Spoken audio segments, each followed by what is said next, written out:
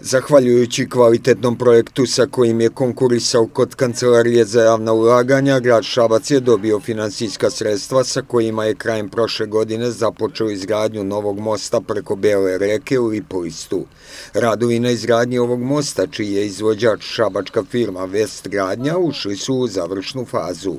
toku su završni radovi na montaži e,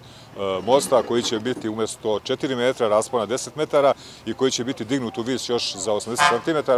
i mi očekujemo da problemi svi koji su imali ljudi koji žive ovde, e, odnosno koji imaju e, imanja pored Bele reke, a u potezu ovog mosta neće više imati problema jer svaka veća kiša je dovodila do plavljenja. Radovi su koštali, radovi koštaju 8 miliona i 600 hiljada dinara, taj deo se finansira iz sestava kancelarije za javne ulaganja, a grad Šavac je obezbedio kompletnu pretu dokumentaciju i obezbedio alternativni prelazi i grad će to da e, košta negde oko milion dinara. Očekuje se da će most na Beloj reci biti gotovi pušten u saobraćaj krajem idućeg meseca. Očekujem da e, u toku dana bude postavljeni elementi, da most bude završen. Nakon toga ide dizanje nivelete puta za 80 cm, 100 metara pre mosta, 100 metara posle mosta i mislim da ćemo do kraja, najkasnije do kraja maja pustiti ovaj put e, u saobraćaj i da će nakon toga e,